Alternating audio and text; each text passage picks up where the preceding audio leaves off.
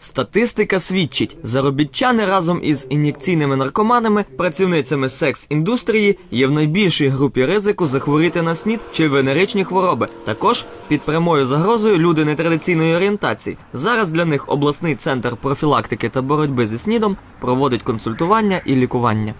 повністю нову програму, якою хочемо забезпечити надання послуг з діагностики, лікування захворювань, що передаються переважно статевим шляхом серед уразливих щодо ВІЛ груп населення. Ці програми зараз запускаються по всій Україні.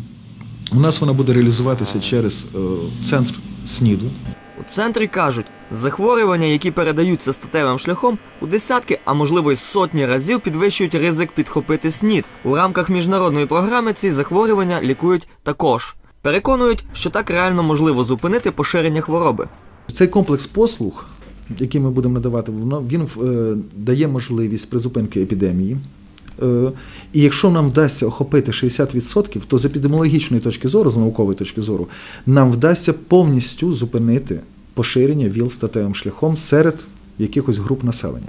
Сама програма почала діяти з вересня цього року. Медики переконують, весь курс консультацій та лікування анонімний. Я вже наголошував, що це у нас відбува- відбувається перш за все конфіденційно і строго анонімно. Тобто за межі цього центру СНІДу інформація нікуди не витікає. Наразі профілактика та лікування ВІЛ-СНІДу надається безкоштовно в Ужгороді. Також центри діють у Мукачеві та Хусті. Власне, програма з міжнародним альянсом боротьби з ВІЛ-СНІДом в Україні розрахована на 5 років.